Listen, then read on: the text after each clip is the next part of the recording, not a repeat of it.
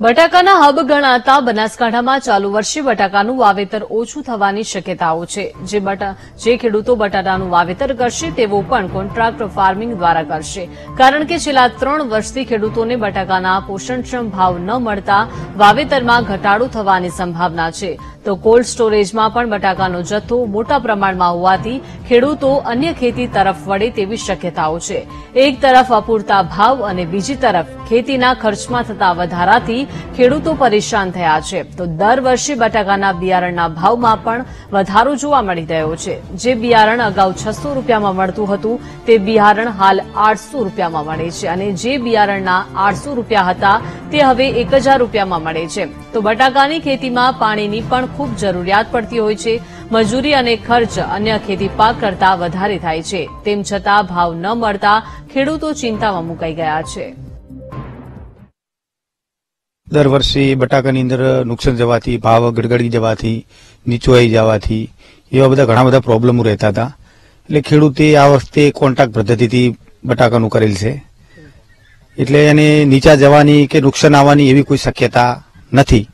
એટલે એને જે નક્કી જ છે અને ફિક્સ જ છે કે આ ભાવ મને મળવાના જ છે. એટલે સારું એવું રહેશે એમ.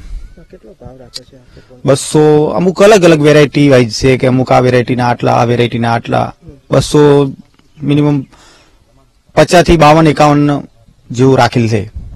હું દર સાલ પોકરાજની વાપતો તેમાં શું ભાવ ના મળતા. અને વિધાઉટ એસ્કેપનો પ્રોબ્લેમ વધારે થતો નો. એટલે એનાથી કોઈ લેવા ના આવતું. નુકસાન વધારે થતું. હું આ બે વર્ષથી કંપનીનું વાવું છું. એમાં સારું રહે. મૂળ ભાવ વધેલા હોય એટલે એમાં નુકસાન જતું નથી. એ બટાકાના વાવેતરની સિઝનની શરૂઆત થઈ ગઈ છે. તો સતત ત્રણ વર્ષથી રાશન બટાકાની અંદર ભાવ નીચા રહેવાના કારણે ખેડૂતો આ વખતે કોન્ટ્રાક્ટ ફાર્મિંગ તરફ વળી રહ્યા છે. કોન્ટ્રાક્ટ ફાર્મિંગની અંદર છેલ્લા ત્રણ ચાર વર્ષથી જોઈએ તો ખેડૂતોને સારો એવો ભાવ મળી રહ્યો છે. અત્યારે જોવા જઈએ તો બટાકાની અંદર જે કોલ્ડ સ્ટોરેજની અંદર સંગ્રહ છે, એમાં પિસ્તાલીસ લાખ કટ્ટાની આજુબાજુ રાશન બટાકાનો સ્ટોક છે અને દસથી પંદર લાખ કટ્ટાની આજુબાજુ પ્રોસેસ બટાકાનો સ્ટોક છે અને પચીસ લાખની આજુબાજુ સીડ નો સ્ટોક છે. ત્યારથી આ રાસાયણિક ખાતરના ખર્ચા વધ્યા. એના પછી ખેડૂતોને ખૂબ તકલીફ પડવા માંડી. એના પછી પુખરાજ કરીને વેરાયટી આવી એ પણ ચાર પાંચ વર્ષ ચાલી. પણ એ આજે બટાકા, ખાવા બટાકાનો કોઈ ભાવ નથી હોતો. અમુક સમયે સો રૂપિયા હોય તો અમુક સમયે ફેંકવાનો વારો પણ આવતો હતો. પણ છેલ્લા બે એક વર્ષથી આજે ડીસામાં કોન્ટ્રાક્ટ ફાર્મિંગ શરૂઆત થઈ. ગયા વર્ષે કોન્ટ્રાક્ટ ફાર્મિંગ જે ખેડૂતોએ કર્યું, એમને ખૂબ સારો એવો ભાવ મળ્યો હતો અને સારું બેનિફિટ પણ મળ્યું હતું. પણ જે આપણા ખાવાના બટાકા વાવે એમને ખૂબ તકલીફ પડી હતી. આજે પણ દર સ્ટોરમાં ચાલીસ પચાસ હજાર કટ્ટા હજુ જૂનો સ્ટોક પડ્યો છે. અને ખેડૂતોએ ખરેખર ખેડૂત એક જીગરવાના આવે છે એટલા માટે આ વર્ષે પણ એમને મગફળી ગાડીને બટાકા વાવવાની શરૂઆત કરી દીધી છે.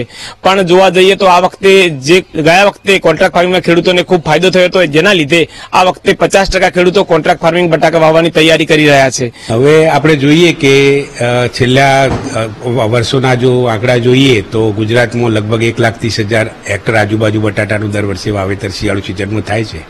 એ પૈકી લગભગ પાંત્રીસ ટકા વિસ્તારમાં પ્રોસેસિંગની જાતોનું વાવેતર થાય છે. જ્યારે પાસઠ ટકા જે વિસ્તાર છે, એમાં શાકભાજીના બટાટાની વાવેતર થાય છે.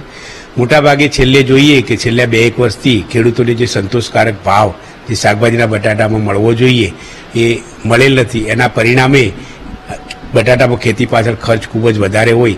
કેટલાક ખેડૂતો આ વર્ષે બટાટાનું વાવેતર થોડું ઓછું કરવાની ઈચ્છા ધરાઈ રહ્યા છે. અને નાના લીધે એમ કે ભાઈ ગુજરાતમાં આ વર્ષે થોડુંક બટાટાનું જે વાવેતર વિસ્તાર છે, એ ઘટે એવી શક્યતાઓ દેખાઈ રહી છે.